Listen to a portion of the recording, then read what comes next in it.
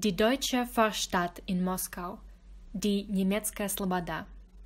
Viele Deutsche lebten in Moskau im 17. Jahrhundert. Als Lebensraum wurde den ausländischen Fachkräften eine besondere Örtlichkeit am rechten Ufer des Flusses Jause zugewiesen. Obwohl in der Vorstadt Angehörige der verschiedensten Nationen wohnten, wurde sie die deutsche Vorstadt, die Niemiecka Sloboda, genannt. Dieses Mosaik, das die Siedlung der Deutschen abbildet, befindet sich in der Nähe der U-Bahn-Station Baumanskaya an der Vorderseite eines der Wohnhäuser, der ehemalige Marktplatz der deutschen Vorstadt. Hier ist die alte Bebauung erhalten geblieben. Auch heutzutage gibt es hier noch Geschäfte. Eines der Gebäude kann noch das ursprüngliche Verblendmauerwerk und die alten Rahmen für Geschäftsschilder vorweisen. Der Palast des Schweizers und Vertrauten des Zaren Peter I. Franz Lefort.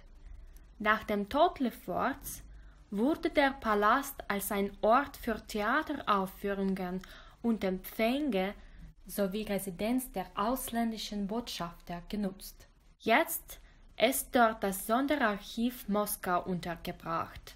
Der Fluss Tschitschora war einst die Grenze der deutschen Vorstadt.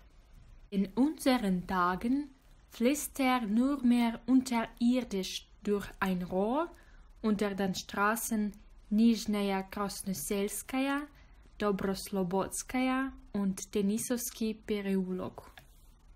Franz Anton Christoph Helferding war Tänzer, Ballettmeister und Choreograf aus Wien. 1758 bis 64 war er Leiter des kaiserlichen Balletts in St. Petersburg und Moskau. Das Gebäude der Polizei war Helefortowo. Jetzt ist hier eine der Fakultäten der Moskauer Rechtswissenschaftlichen Staatsuniversität untergebracht. Fana-Grojanische Kasernen. Ursprünglich war hier im 18. Jahrhundert der Wohnsitz des Hofarztes Johannes Stock, der kaiserlicher Leibarzt war. 1910 wurde hier das Phanagorianische Regiment einquartiert.